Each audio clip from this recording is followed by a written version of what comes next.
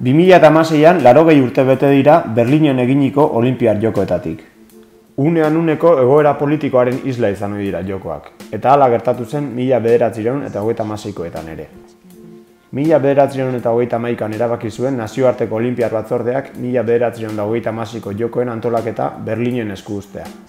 Lehen mundu gerraz geroztik Alemaniari ezarritako bakartzea apurtuz. Bi urte geroago ordea, Adolf Hitler eta alderdi nazional sozialista heldu ziren boterera. Besteak beste, arraza arioaren gorazarrea eta gutxiengo ugariren jasarpen gogorra eginez. Boikot mehatxuak izan ziren, baina aurreko edizioetan baino herrialde gehiago hartu zuten parte azkenean. Hitlerrek erregimen naziaren propagandarako tresnatzat erabili zituen jokoak.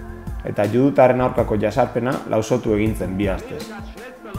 Testu inguru horretan, arraza nagusitasunari buruzko teoriak ezer ezean utzi zituen jokoetako protagonista izan zen Jesse Owens atleta beltzak.